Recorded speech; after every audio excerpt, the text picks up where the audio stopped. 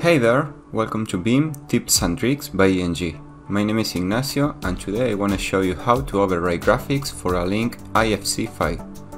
When we first link an IFC file, we can only see it with a locked default visibility. On shaded display we see it all grey and on hidden lines we see it all white. We can't override its graphics in view by right clicking it and we can't apply filters on it neither because there are no properties available and we can select its elements individually. So, how can we see it the way we need?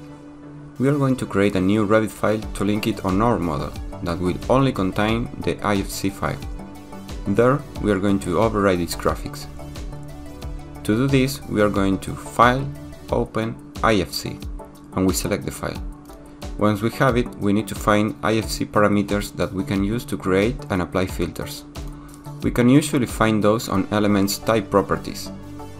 Now we can create view filters to override the IFC graphics as we like. We will create a view template with these overrides for 3D views, section views and plan views. Here is one extra tip. You can apply one template for all types of views, and it will work fine. We don't need to create a template for plan views, a template for section views and a template for 3D views.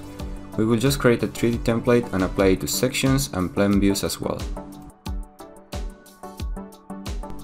Once we are done, we will save this Revit file as a project and link it on our model. Now, we go to the view that we want to override the IFC visibility. We open the visibility graphic settings and go to the Revit Links tab. There, we are going to select custom mode. We will choose the link view that we have just applied our template on and on the view filters options we are going to choose by link view. Now we should be able to see our IFC the way we need it, as a Revit link. With this same logic, we can change its visibility for all type of view.